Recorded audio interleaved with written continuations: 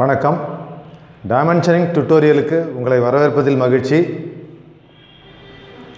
மீண்டும் ஒரு comparative lesson uh, அதாவது நீங்கள் லெஃப்டில் பார்க்கக்கூடிய இந்த டயக்ராமில் டைமென்ஷனிங் பண்ணியிருக்காங்க ஆனால் அதில் பர்பஸாக நிறைய மிஸ்டேக்ஸோடு பண்ணியிருக்காங்க டைமென்ஷன் ரைட்டில் பார்க்கக்கூடிய இந்த டயக்ராம் அங்கே இருக்கக்கூடிய எல்லா மிஸ்டேக்ஸையும் கரெக்ட் பண்ணி எப்படி ப்ராப்பராக டைமென்ஷனிங் பண்ணுறது அதுக்கான ஒரு நல்ல எக்ஸாம்பிள் தான் ரைட் சைடில் உள்ள டயக்ராம் ஸோ முதல்ல நம்ம இந்த லெஃப்ட் சைடில் உள்ள டயக்ராமில் டைமென்ஷனிங்கில் என்னென்ன மிஸ்டேக்ஸ்லாம் பண்ணியிருக்காங்க?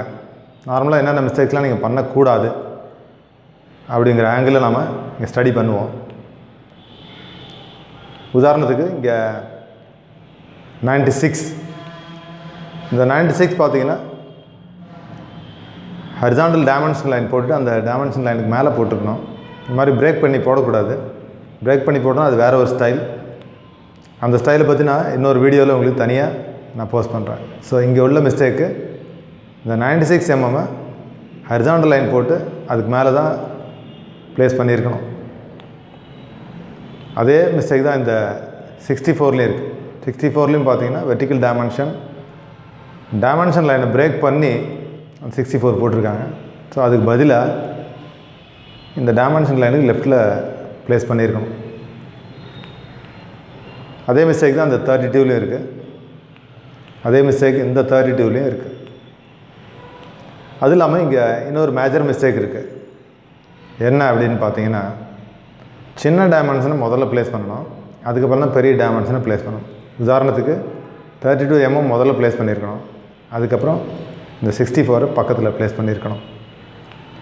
இதில் என்ன மிஸ்டேக் மேஜராக அப்படின்னு பார்த்தீங்கன்னா இந்த டைமென்ஷன் லைனை இந்த எக்ஸ்டென்ஷன் லைன் கிராஸ் பண்ணுது. ஸோ எந்த மாதிரி சுச்சுவேஷன்லேயும் டைமென்ஷன் லைனை ஒரு எக்ஸ்டென்ஷன் லைன் கிராஸ் பண்ணக்கூடாது. ஸோ அது ஒரு மிஸ்டேக் அதுக்கப்புறம் இந்த லெஃப்ட் ஹேண்ட் சைடில் பார்த்தீங்கன்னா பதினாறு எம்எம் முப்பத்தி ரெண்டு எம்எம் மறுபடியும் இங்கே ஒரு பதினாறு எம்எம் ஸோ இங்கே பார்த்தீங்கன்னா ஒரு செயின் டைமென்ஷனிங் பண்ணுறதுக்கான வாய்ப்பு நல்லாவே இருக்குது ஸோ இந்த பதினாறு இதுக்கு நேராகவே முப்பத்தி ரெண்டு அதுக்கு நேராக இன்னொரு பதினாறு போட்டிருந்தாக்கா மிஸ்டேக்கு இல்லை அப்படின்னு சொல்லலாம். ஸோ செயின் டைமென்ஷனிங் பண்ணியிருந்தால் இந்த மிஸ்டேக் கொஞ்சம் அவாய்ட் பண்ணியிருக்கலாம் இதில் இன்னொரு விஷயமும் இருக்குது என்னன்னு பார்த்தீங்கன்னா பதினாறு முப்பத்தி ரெண்டு பதினாறு அப்படின்னு கொடுத்துட்டு டோட்டலாக பார்த்தீங்கன்னா அறுபத்தி நாலு எம்எம்ங்கிறது தெரியும் நமக்கு உயரம். ரைட் சைட்லேயும் அறுபத்தி நாலு எம்எம் அப்படின்னு கொடுத்தாக்கா டைமென்ஷனிங்கில் ஒரு மிஸ்டேக் இருக்குது அப்படின்னு ஈஸியாக ஸ்பாட் பண்ணிவிடுவாங்க ஸோ அப்போ நீங்கள் என்ன பண்ணணும்? இந்த மாதிரி ஸ்ப்ளிட் பண்ணி பதினாறு முப்பத்தி ரெண்டு பதினாறு அப்படின்னு கொடுத்தீங்கன்னா இந்த அறுபத்தி நாலு எம்எம் வந்து கொடுக்காம விட்டுடணும். ஏன்னா இங்கே இருக்க டோட்டலில் தான் நீங்கள் மறுபடியும் இங்கே கொடுத்துருங்க அது வந்து டைமென்ஷனிங் ரூல் படி அது தப்பு. அடுத்தபடியாக இங்கே ஒரு மிஸ்டேக் பண்ணியிருக்காங்க. இதுலேயும் அதே மிஸ்டேக் தான். என்னென்னு பார்த்தீங்கன்னா சிக்ஸ்டீன் எம்எம் டைமென்ஷன் வந்து சின்ன டைமென்ஷன் அது வந்து இந்த பெரிய டைமென்ஷனை ப்ளேஸ் பண்ணிவிட்டு அதுக்கப்புறம் மேலே கிராஸ் பண்ணி போயிருக்கு. ஸோ இங்கே கரெக்டாக பண்ணணுன்னா முதல்ல சிக்ஸ்டீன் எம்எம் இங்கே பண்ணியிருக்கணும். அதுக்கப்புறம் மேலே கொண்டு போயிட்டு ஃபார்ட்டி எம்எம் டைமென்ஷன் ப்ளேஸ் பண்ணியிருக்கணும். ஸோ இதுதான் இங்கே உள்ள மிஸ்டேக் அதுக்கப்புறம் இந்த டுவெல் ஆர் அப்படின்னு இருக்குது இந்த டுவெல் ஆரில் என்ன மிஸ்டேக் அப்படின்னு பார்த்தீங்கன்னா நார்மலாக ஒரு ரேடியஸ் கொடுக்கணுன்னா நீங்கள் என்ன ஃபார்மேட் யூஸ் பண்ணணும்? ரேடியஸ் கொடுக்கறதுக்கு ஆர் டுவெல் அப்படின்னு தான் ஃபார்மேட் யூஸ் பண்ணணும். அதுவும் இல்லாமல் ஒரு கம்ப்ளீட் சர்க்கிள் இது. ஒரு கம்ப்ளீட் சர்க்கிளுக்கு கண்டிப்பாக நீங்கள் ரேடியஸ் கொடுக்கக்கூடாது. நிச்சயமாக நீங்கள் இங்கே டயமீட்டர் தான் கொடுக்கணும். ஸோ அதுலேயும் இது மிஸ்டேக் இப்போ ரெண்டு விதமான மிஸ்டேக் இருக்குது அதுக்கப்புறம் இந்த எயிட் எம்எம் இந்த கேப் அதாவது இந்த ரெண்டு லைனுக்கு நடுவில் உள்ள கேப் வந்து எயிட் எம்எம் அப்படின்னு நீங்கள் ப்ளேஸ் பண்ணியிருக்காங்க.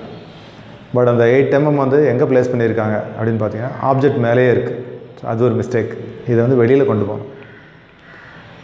அதே மாதிரி இந்த டுவெண்ட்டி ஃபோர் எம்எம்மும் டைமென்ஷன் வேல்யூவை நேராக ஆப்ஜெக்ட் மேலே ப்ளேஸ் பண்ணியிருக்காங்க. இந்த ஏரோ இந்த ஏரோ ரெண்டுமே பார்த்தீங்கன்னா ஆப்ஜெக்ட் லைனை தொட்டுட்ருக்கு ஸோ கூடுமான வரைக்கும் வந்து ஆப்ஜெக்ட் லைனை வந்து ஏரோ தொடாமல் பார்த்துக்கணும். ஸோ அதனால் இந்த டைமென்ஷனை நீங்கள் வெளியில் கொண்டு போனால் இந்த ப்ராப்ளம் சால்வ் ஆகிடும் அதுக்கப்புறம் பார்த்தீங்கன்னா இந்த சின்ன சர்க்கிள் இருக்குது இந்த சர்க்கிளோட டயமீட்டர் வந்து பதினாறு எம்எம் அப்படின்னு கொடுத்துருக்காங்க.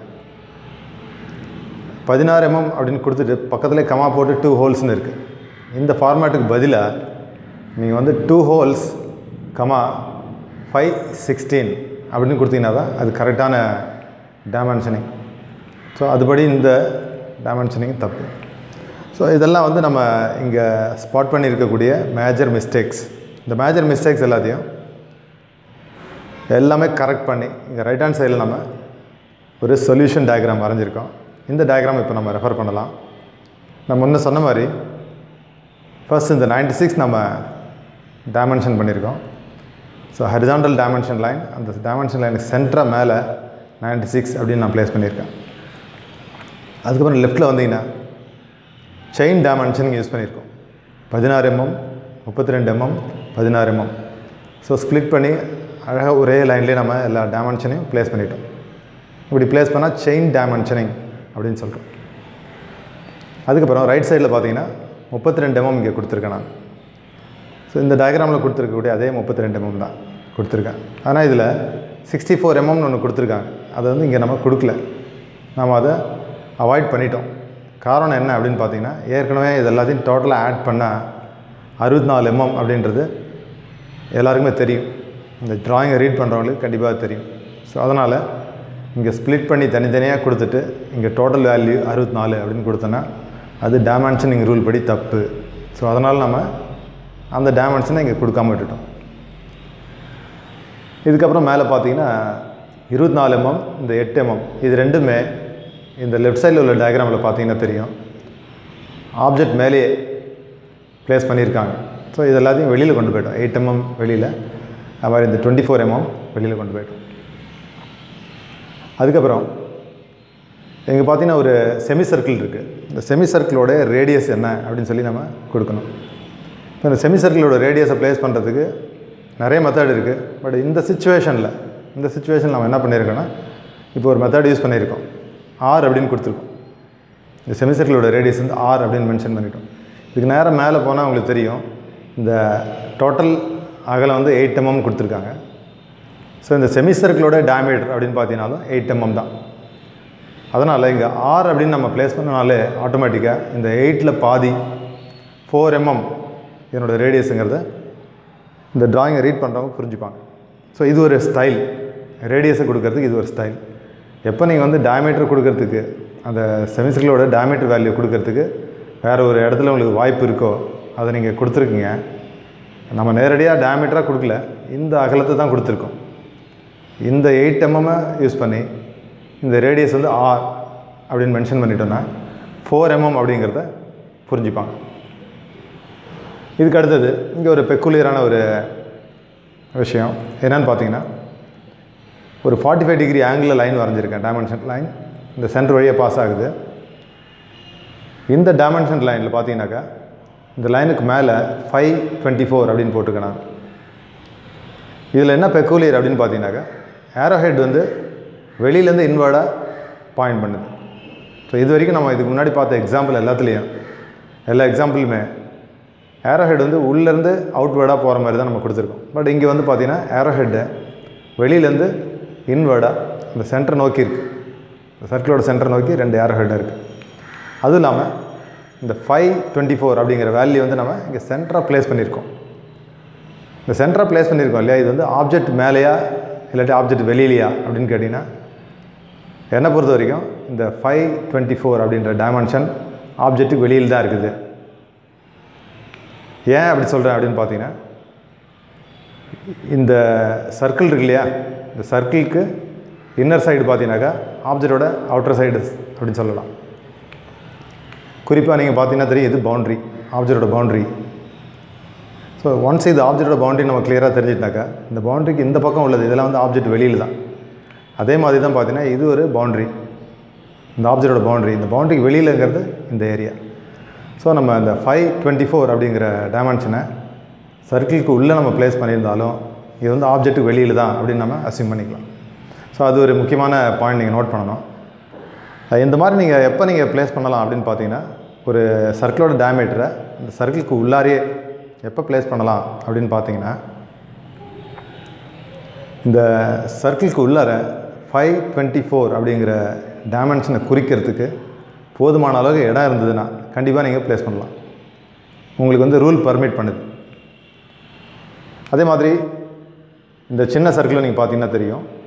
இந்த சென்டர் வழியாக நம்ம வந்து forty five degree angle line ஒன்று போட்டிருக்கோம். போட்டு அந்த லைனை வெளியில் எக்ஸ்டெண்ட் பண்ணிட்டோம். இது வந்து லீடர் லைன் இந்த லேடர் லைனை ஹரிசாண்டலாக பென் பண்ணிட்டேன். பென் பண்ணிவிட்டு two holes comma five sixteen அப்படின்னு சொல்லியிருக்கோம்.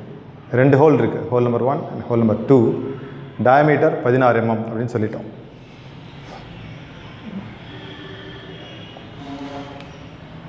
இதுலேயே நீங்கள் கரெக்டாக நோட் பண்ணிங்கன்னா தெரியும். இந்த ஏரோ மார்க் வந்து வெளியிலேருந்து சர்க்கிளோட சென்டரை நோக்கி பாயிண்ட் பண்ணியிருக்கு. ஸோ நான் ஏற்கனவே சொல்லியிருக்கேன் circle arc and semi circle இதில் மட்டும் இந்த ஏரோ மார்க் வந்து ஆப்ஜெக்ட் லைனை தொட்டுட்ருக்கலாம் ரூல் வந்து பர்மிட் பண்ணுது. ரூலில் வந்து உங்களுக்கு அதை அனுமதி பண்ணுறாங்க ஸோ அதனால் இந்த ஏரோ மார்க்கு இந்த சர்க்கிளை தொட்டுட்டு இருந்தாலும் அது மிஸ்டேக் கிடையாது. இந்த டுட்டோரியலில் உங்களுக்கு பயனுள்ள தகவல் கிடச்சிருக்குன்னு நான் நம்புகிறேன் மீண்டும் நம்ம அடுத்த டுட்டோரியலில் சந்திப்போம். முக்கியமாக நீங்கள் இந்த சேனல் சப்ஸ்கிரைப் பண்ணிவிடுங்க லைக் பட்டன் ப்ரெஸ் பண்ணுங்கள் பெல் ஐக்கானும் ப்ரெஸ் பண்ணுங்கள் உங்களுக்கு அடுத்தடுத்து நாங்கள் போஸ்ட் பண்ணக்கூடிய லெசன் இமிடியேட்டாக நோட்டிஃபிகேஷன் வந்து சேரும். நன்றி வணக்கம்.